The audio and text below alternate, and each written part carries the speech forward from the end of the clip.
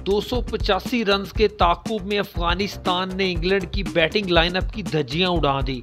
अफगानी spinner Mujeebur Rahman, Rashid Khan और मोहम्मद नबी ने England की बैटिंग की धज्जियाँ उड़ा दी। दोस्तों, मुजीबुर रहमान ने अपनी ऑफ़ कटर से बहुत ज़्यादा अच्छी गेंदबाजी की, जिसकी वजह से इंग्लैंड उनको ना खेल सका और मुजीबुर रहमान के हाथों विकेट पे विकेट देते रहे। जोनाथन ट्रोट उनके कोच हैं। इन्होंने इंग्लैंड की अंदरूनी सारी खबरें, कहानियाँ उनको बताई हुई थी।